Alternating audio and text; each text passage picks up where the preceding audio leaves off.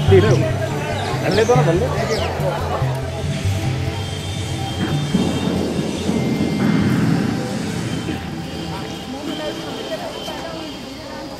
ना Thank you.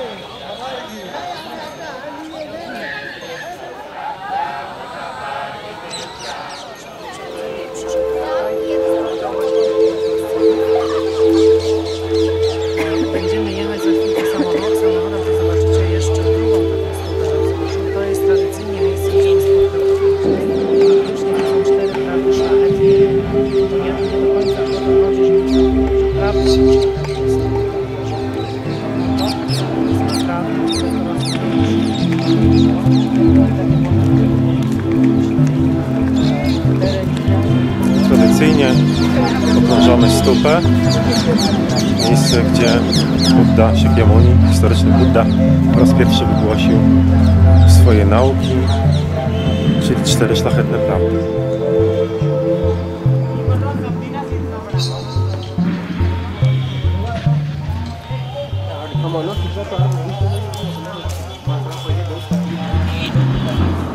Dzięki